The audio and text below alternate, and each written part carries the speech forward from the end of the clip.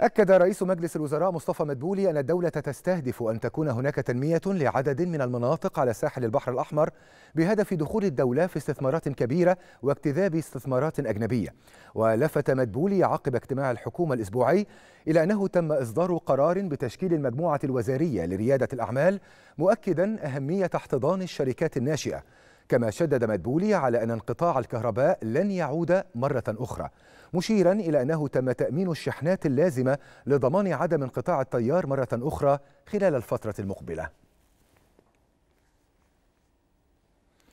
اختتم وزير الخارجية والهجرة وشؤون المصريين بالخارج بدر عبد العاطي لقاءاته مع 12 عضوا بالكونغرس الأمريكي بلقاء كل من النائب ستيف سكاليز زعيم الأغلبية الجمهورية بمجلس النواب والسيناتور جون أوسوف عضو لجنة الاستخبارات بمجلس الشيوخ والسيناتور كريس فان هولن عضو اللجنة الفرعية لاعتمادات العمليات الخارجية بمجلس الشيوخ الأمريكي.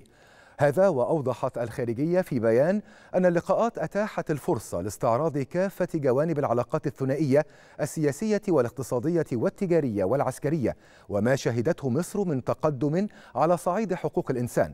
كما عكست اللقاءات إدراكا متزايدا من أعضاء الكونغرس للدور المصري البناء في المنطقة والتطورات التي تشهدها على مختلف الأصعدة والخطى الحثيثة التي تخطوها لدعم الأمن والاستقرار على الرغم من الاضطرابات الجسيمة التي يعاني منها الشرق الأوسط.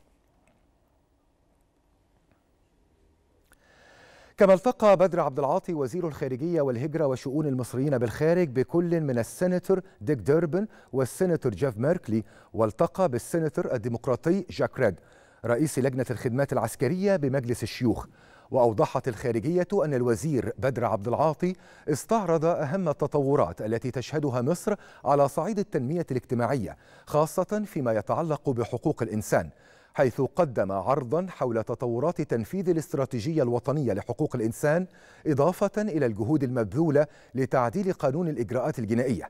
هذا وأكد وزير الخارجية على استمرار جهود الدولة المصرية في العمل على التوصل لوقف إطلاق النار في غزة كما استعرض الدور الذي تطلع به مصر للتعامل مع الأزمات في السودان وليبيا والصومال حيث تعمل مصر كركيزة للاستقرار في المنطقة.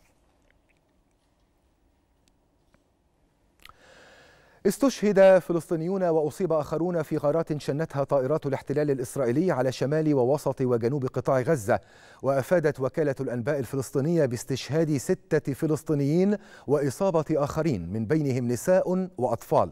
وذلك جراء قصف طائرات الاحتلال منزلا في حي الدرج وسط مدينة غزة. وأضافت الوكالة أن طائرات الاحتلال قصفت منزلا في بلدة بيت لاهيا شمال القطاع ما أسفر عن وقوع عدد من الإصابات. كما قصفت طائرات الاحتلال شقة سكنية في مخيم النصيرات وسط القطاع ما أسفر عن استشهاد وإصابة عدد من الفلسطينيين. قال الرئيس الأوكراني فلوديمير زيلينسكي إن الهجوم الذي تشنه كييف على كورسك الحدودية الروسية أرغم موسكو على نقل أربعين ألف جندي إلى تلك المنطقة. وأوضح زيلنسكي أن الوضع في الجبهة في منطقة دونيتسك بشرق أوكرانيا مقلق للغاية حيث كان الجيش الروسي قد أحرز تقدما في الأشهر الأخيرة مشيرا إلى أن كييف تمكنت من تقليص قدرات موسكو.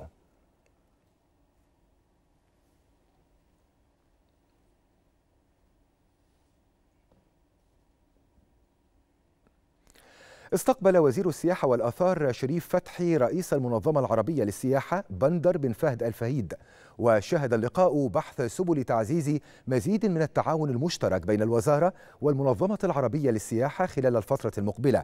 حيث أكد فتحي أهمية التعاون القائم بين الوزارة والمنظمة لتنمية وتطوير السياحة العربية بالمنطقة وتشجيع وزيادة حركة السياحة العربية مثمنا على الدور الذي تقوم به المنظمة في تطوير العمل العربي المشترك وتعزيز التبادل السياحي بين الدول العربية.